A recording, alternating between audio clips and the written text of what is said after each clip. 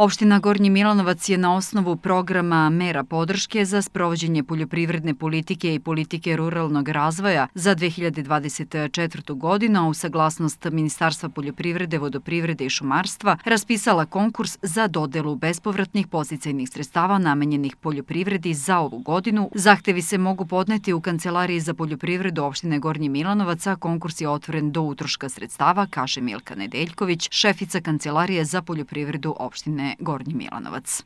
Konkurs smo objavili 3. maja i od juče 7. maja konkurs je na snazi.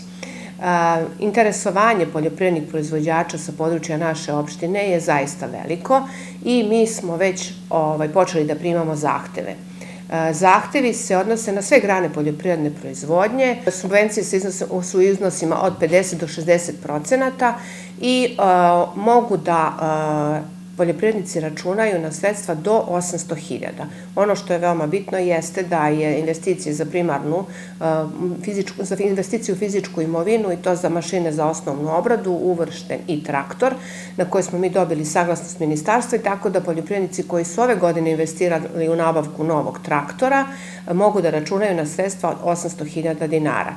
To je veoma značajno iz razloga što Naše težište, opštine Gornji Milanovac i Kancelarije za poljoprivredu, jeste da pomogne malim poljoprivrednim proizvođačima.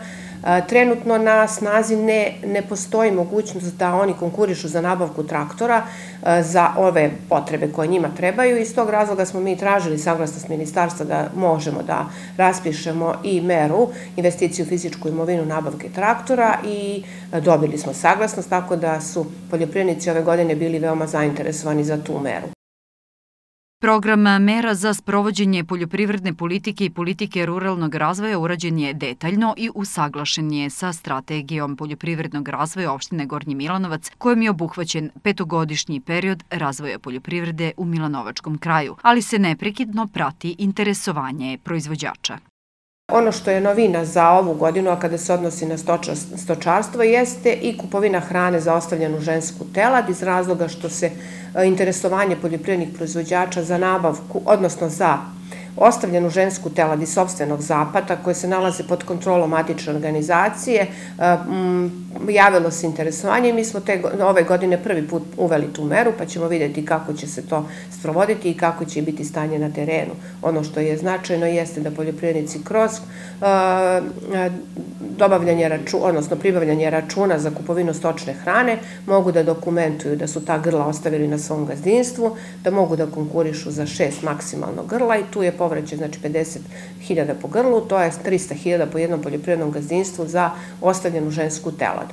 Takođe će i ove godine e, subvencionisat ćemo i e, nabavku svih priključnih mašina i za sve sektore poljoprivredne proizvodnje, da li to u stočarstvu, voćarstvu, povrtarstvu, za podizanje plastenika iznosi su 60 procenata, nabavke protivgradnih raketa, koje su nam van programa, ali da bi predupredili e, štete od elementarnih nepogoda, takođe i za protivgradne mreže, subvencije su do 300.000.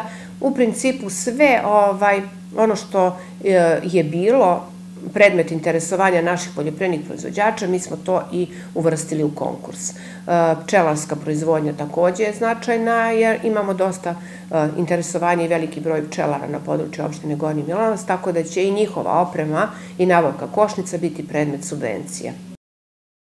Dodaje naša sagovornica da je konkurs otvoren najkasnije do 30. oktobra i naglašava da je Kancelarija za poljoprivredu opštinske uprave Gornji Milanovac na raspolaganju svim zainteresovanim poljoprivrednicima za sva pitanja u vezi konkursa, kao i načinom prikupljanja dokumentacije prilikom podnošenja zahteva.